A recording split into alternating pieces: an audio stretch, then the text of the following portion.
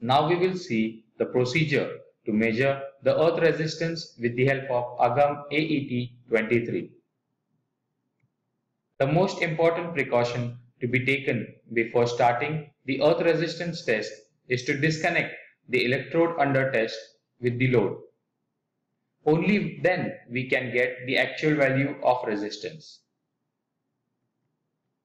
Insert the current spike or peg at a distance of 30 meters from the electrode as shown. This distance of 30 meters is considered as 100% of the distance for this, for this test.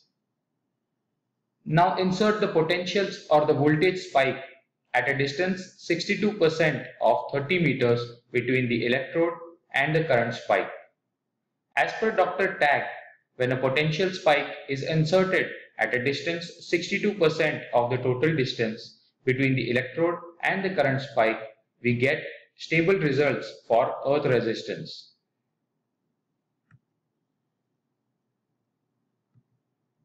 Here is our compact but efficient earth resistance tester AGAM AET23. Starting with the connections. Connect the E wire of the tester to the earth electrode under test.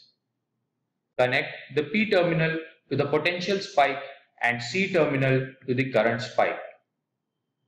Once we are done with the connections, now with the help of the selector switch, select a proper range of resistance. Initially, keep it to 20 ohms and then press the test button. As shown, the current starts flowing from the electrode under test towards the current spike. The voltage between the potential spike and the electrode under test are measured by instrument. As current flows from the electrode, it offers a resistance to flow of current with respect to soil. Eventually, there is a potential drop captured between the electrode under test and the potential spike.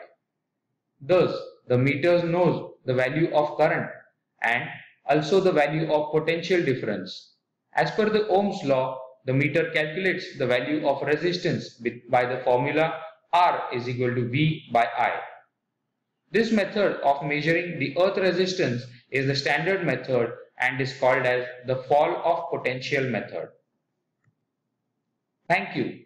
For more details on the same, kindly refer the SAGE toolkit and in case of any kind of queries, kindly contact the respective product manager. Thank you.